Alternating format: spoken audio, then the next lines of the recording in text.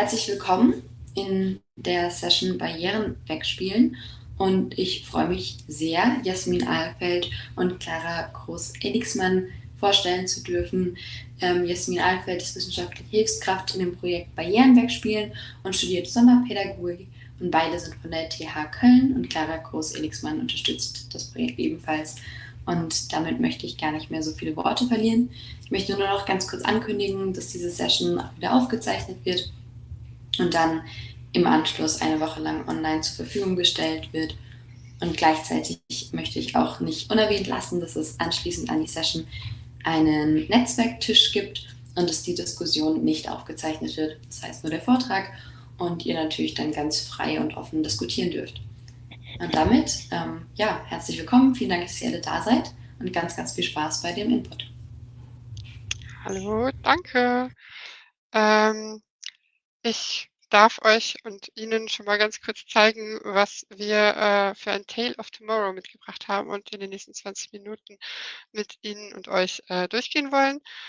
Wir wollen ein bisschen dazu erzählen, äh, um welche Studierenden uns, es uns geht, ähm, uns darüber ähm, informieren, warum es ein bisschen komplizierter sein kann, barrierefreie Lehrgestaltung auch hochschuldidaktisch zu begleiten. Ähm, euch dann natürlich nicht vorenthalten, was äh, der Serious Game Prototyp Beyond the Chalkboard ist und auch ein bisschen über die ähm, strukturellen Kontexte äh, des Ganzen berichten. Und natürlich freuen wir uns auf die Diskussion im Anschluss am Netzwerktisch. Damit gebe ich schon weiter an dich, Jasmin. Ja, auch von mir einmal hallo, schön, dass ihr und Sie alle da sind. Ähm, erstmal wollen wir einmal zeigen, um wen es hier geht. Und zwar hat das Deutsche Studierendenwerk 2021 ähm, eine Befragung unter Studierenden durchgeführt. Dabei wurden 180.000 Studierende befragt und von diesen haben 16 Prozent angegeben, dass sie eine studienerschwerende Beeinträchtigung aufweisen. Und diese 16 Prozent lassen sich noch weiter aufteilen. Wie hier auch zu sehen ist, äh, sind unter diesen 16 Prozent 11 Prozent äh, Studierende, die äh, eine psychische Erkrankung angaben und 5 Prozent andere Beeinträchtigungen. Ähm, du kannst gerne einmal weitermachen, Clara. Somit ist das nicht nur die größte Gruppe der Studierenden mit einer studienerschwerenden Beeinträchtigung, sondern auch die Gruppe der Studierenden, die im Vergleich zu den vorherigen Erhebungen, es gab schon zwei Erhebungen davor, am meisten gewachsen ist. Auf die Studierendenschaft in Deutschland hochgerechnet bedeutet das, dass von 2,9 Millionen Studierenden 302.000 Menschen mit einer studienerschwerenden psychischen Erkrankung studieren, also ein ziemlich großer Teil. Zur gleichen Zeit wurde an der TH Köln auch eine Befragung der Lehrenden durchgeführt und äh, zur Barrierefreiheit an der TH Köln. Und da gaben die Lehrenden an, dass sie ähm, den Wunsch haben, ihre Lehre für alle Studierenden zugänglich zu machen. Zugleich gibt es bei den Lehrenden aber Unsicherheiten und auch Stereotype im Umgang mit psychischen Erkrankungen, also mit Studierenden mit psychischen Erkrankungen und auch wenig Angebote, die die Lehrenden dabei unterstützen. Gleichzeitig werden unsere hochschuldidaktischen Weiterbildungsangebote zur Barrierefreiheit allerdings kaum genutzt.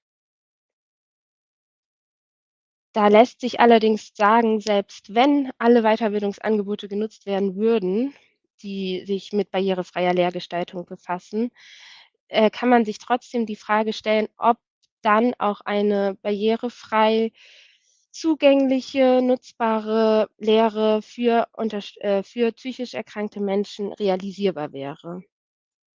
Und obwohl unsere Angebote das Thema sichtbar machen und auch sensibilisieren für diese Thematik und ähm, alle Studierenden von barrierefreien Dokumenten und Präsentationen profitieren und so auch psychisch erkrankte Studierende, reichen unsere Weiterbildungsangebote nicht aus, um Barriere, Lehre so barrierefrei zu gestalten, dass sie auch für Studierende mit psychischen Erkrankungen zugänglich ist. Deswegen haben wir uns für das Format des Series Game entschieden, was das Thema psychische Erkrankung oder Studium mit psychischen Erkrankungen innovativ ähm, angeht und neugierig macht. genau, wie Clara schon gesagt hat, haben wir einen Prototypen, ähm, der Beyond the Chalkboard heißt. Und in diesem Prototypen spielt man als genderneutrale Spielfigur Sam. Ähm, und Sam studiert mit einer psychischen Erkrankung. Das Spiel ist so aufgebaut, dass ähm, den SpielerInnen verschiedene Handlungsmöglichkeiten geboten werden. Im Spielverlauf kann es allerdings dazu kommen, dass diese Handlungsmöglichkeiten begrenzt werden durch Sams psychische Verfassung, durch strukturelle Bedingungen und auch durch den Umgang und die Reaktion von KommilitonInnen und Lehrenden. Das Setting des Spiels ist, äh, spielt sich ab zwischen Sams Apartment und dem Hörsaal und es geht grundlegend darum, Alltags- und Studienanforderungen zu bewältigen und dabei auch Sams Gefühle zu managen. Dabei wird sich auf drei Ebenen fokussiert. Stress, Selbstbewusstsein und das Energielevel. Eine zentrale Rolle in dem Spiel ähm, hat der Planer, der wiederum in drei Teile aufgeteilt ist. Einmal der Mindspace, auf den kann ich gleich noch einmal zu sprechen. Dann der Schedule, das ist die Kalenderfunktion, in dem man Sams Tag strukturieren kann. Und die Feeling-Sektion, äh, wo einmal der aktuelle Gefühlszustand von Sam festgehalten wird und auch die verschiedenen Level der Gefühlsebenen, die ich gerade schon angesprochen habe, Energie, Selbstbewusstsein und Stress. Der Mindspace ist im Planer zentral, weil dort nicht nur Aufgaben festgehalten werden, die sich auf das Studium und den Alltag beziehen, sondern auch negative Gefühle von Sam, die während des Spiels auftreten können, beispielsweise Ungenügenheitsgefühle oder mh, hm, Gedanken wie die Lehrperson mag mich jetzt nicht mehr.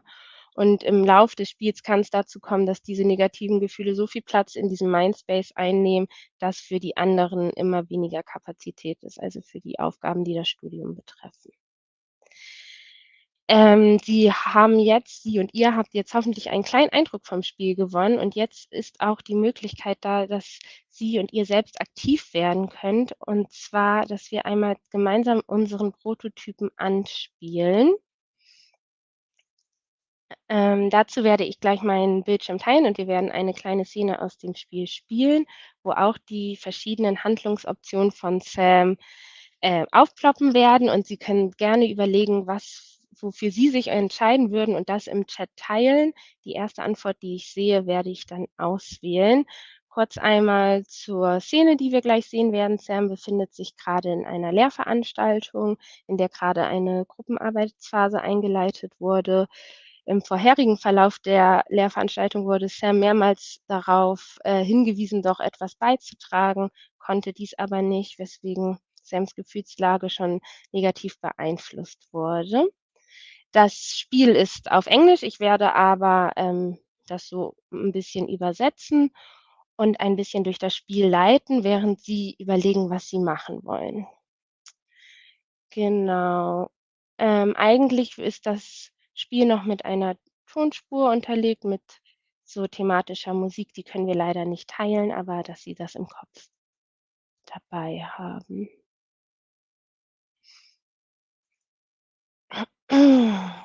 So, genau. Also, der Professor Hempel sagt jetzt, dass die Länge der Gruppenarbeit an und Sam ist gestresst und fragt sich, mit wem Sam in einer Gruppe ist, da Sam niemanden wirklich kennt. Okay, aber Sam möchte sich auf die Aufgabe fokussieren. Jetzt redet diese Person, das Mädchen mit Brille. Hallo, hast du zugehört? Und hier ist die erste Möglichkeit, dass Sam antworten kann. Hä? Oh, ich, sorry, es tut mir leid, ich habe nicht zugehört oder gar nichts sagen. Was würden Sie auswählen? Schreiben Sie das gerne einmal in den Chat.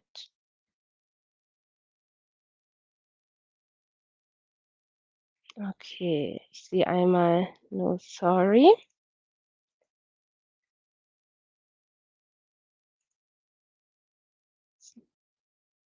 Sam fragt jetzt nach, ob äh, wiederholt werden kann, was gesagt wurde.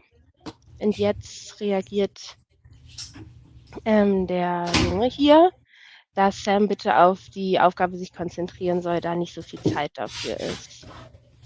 Sam entschuldigt sich noch einmal. Jetzt wieder das Mädchen mit Brille.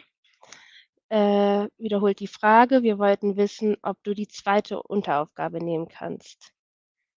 Sam sieht sich die zweite Unteraufgabe an und denkt, dass sie zu schwierig ist und Sam das gerade nicht meistern kann. Und hier sieht man einmal, dass schon eine Handlungsoption ausgeblendet ist. Mit dem Jungen kann nicht mehr getauscht werden. Jetzt sind nur noch die, ähm, ich möchte mit dem Mädchen mit Brille tauschen oder ich übernehme die zweite Aufgabe. Was würden Sie da nehmen? Ach so, oder gar nichts sagen. Ja, sure sehe ich da. Genau. Hier sieht man dann auch immer die Auswirkung auf Sams Energielevel. Und jetzt geht dann die Gruppenarbeit los. Das erstmal für einen kleinen Einblick. Die ähm, Auswahl der Optionen wird dann im weiteren Verlauf die Gruppenarbeit äh, beeinflussen und natürlich dann auch weitere Handlungsoptionen von Sam und auch das, ähm, die Gefühlsebenen. Genau. Jetzt übergebe ich an Clara. Dankeschön. ja. Ach, sag noch was. vielen Dank für die, äh, für die rege Teilnahme, wollte ich noch sagen. Genau. Ja. Genau, wir können es ähm, genau jetzt in dem kleinen Format hier einfach nur anspielen. Ähm, äh, ich möchte ein bisschen kurz zu der Entwicklung erzählen. Also wir haben das, was wir Ihnen und euch gezeigt haben, ist ein Prototyp, den Studierende an der TH Köln im Cologne Game Lab entwickelt haben. Und ähm, zwar im letzten Sommersemester mit einem äh, mit einer Lehrperson in einem sogenannten Impact Game. Also das Seminar ist so aufgebaut, dass die Studierenden dort ein Spiel entwickeln sollen in einer sehr begrenzten Zeit, das ähm, also ein Prototyp eines Spiels entwickeln sollen in einer begrenzten Zeit, äh, der eine Wirkung auf die Spielenden hat. Also können unterschiedliche Szenarien sein, für was die Wirkung gebraucht war. Und unser Auftrag, uns meine ich das Projekt Barrierefreie Lehre in Zusammenarbeit mit der äh, Beauftragten für Studierende mit Beeinträchtigung chronischer oder psychischer Erkrankung, Nadine Fischer, an unserer Hochschule, ähm, haben eben diesen Auftrag gegeben, dass es ein, ähm, eine psychische ähm, äh, für psychische Erkrankungen von Studierenden sensibilisieren soll. Und ähm, jetzt ist natürlich die spannende Frage, wie geht's weiter? Wir sagten ja gerade, es ist ein Prototyp und äh, wir nutzen diesen Prototyp als ähm, Basis einer weitergehenden Entwicklung. Das heißt, wir möchten, wir wollten am liebsten mit den Studierenden weiter zusammenarbeiten aus organisatorischen und äh, ja auch Studiengründen auch der ähm, Studierenden, also mit Beschäftigungsverhältnissen als studentische Hilfskräfte und so weiter, haben wir das leider nicht hinbekommen und deshalb werden wir ähm, die Weiterentwicklung durch einen externen Anbieter vornehmen lassen.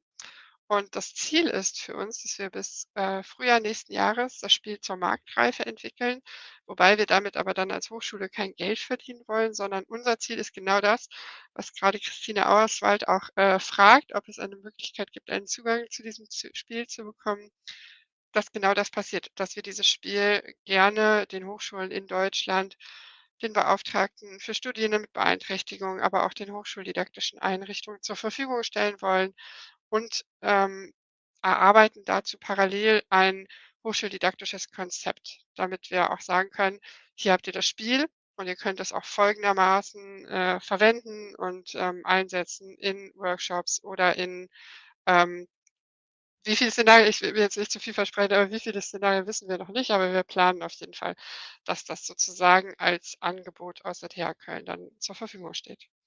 Genau, und ab April 25, das ist so die Zielmarke, die wir persönlich äh, gesetzt haben, soll das äh, Spiel dann helfen, barrierefreie Lehrsettings für Studierende mit psychischen Erkrankungen ähm, zu fördern. Genau. Und damit sind wir auch schon boah, wir sind voll gut in der Zeit. Das heißt, wir können sonst auch ähm, äh, ja, ich sehe gerade die Frage auch den Hochschulen im Dachraum. Ja, Also grundsätzlich ähm, haben wir uns da keine ähm, Begrenzung auferlegt, wo wir das lassen wollen. Also ich weiß noch nicht genau, welche Plattform das sein wird, aber ähm, ja, wir arbeiten dran. Wir haben aber sonst auch Fragen an Sie und euch mitgebracht, nämlich ähm, weil wir auch immer davon profitieren können, was ähm, andere Hochschulen machen. Ich weiß nicht, gibt es vielleicht an euren Hochschulen auch Erfahrungen mit der Einbindung von Serious Games, vielleicht auch in hochschuldidaktische ähm, Szenarien und ähm, dann natürlich auch, wenn es schon Erfahrungen gibt, wie an euren Hochschulen für psychische Erkrankungen im Studium sensibilisiert wird und ähm, genau, Barrieren in der Lehre, wie die erkannt werden und spielerisch, ähm, in Klammern spielerisch Handlungsoptionen abgeleitet werden können. Ähm, ich versuche gerade mal den Chat gleichzeitig im Auge zu behalten. Ähm, das Serious Game für Mitarbeiter an Hochschulen mit einer psychischen Erkrankung wäre auch wichtig, wäre auch toll, aber ähm, tatsächlich ist das, was wir hier sehr stolz vorstellen dürfen, auch nicht ganz unaufwendig. Also ich wir mussten uns erstmal fokussieren und da unsere Zielstellung von unserem Projekt Barrierefreie Lehre ist, die äh, Situation für die Studierenden zu verbessern, erstmal diese Zielgruppe ins Auge zu nehmen, wobei aber das, was ich über dieses Serious Game idealerweise lernen kann, natürlich auch adaptierbar ist dann auch für mit äh, für den Umgang mit Mitarbeitenden, die von einer psychischen Erkrankung betroffen sind. Genau. Ich glaube, die Reaktion im Chat zeigt auch, dass es super spannend ist. Dann würde ich einfach die Aufnahme stoppen, uns öffnen für Fragen, Austausch, Diskussion. Ähm, und vielen Dank schon mal für die rege Beteiligung. Ich hoffe, ihr ähm, ja, seid weiter aktiv hier mit dabei.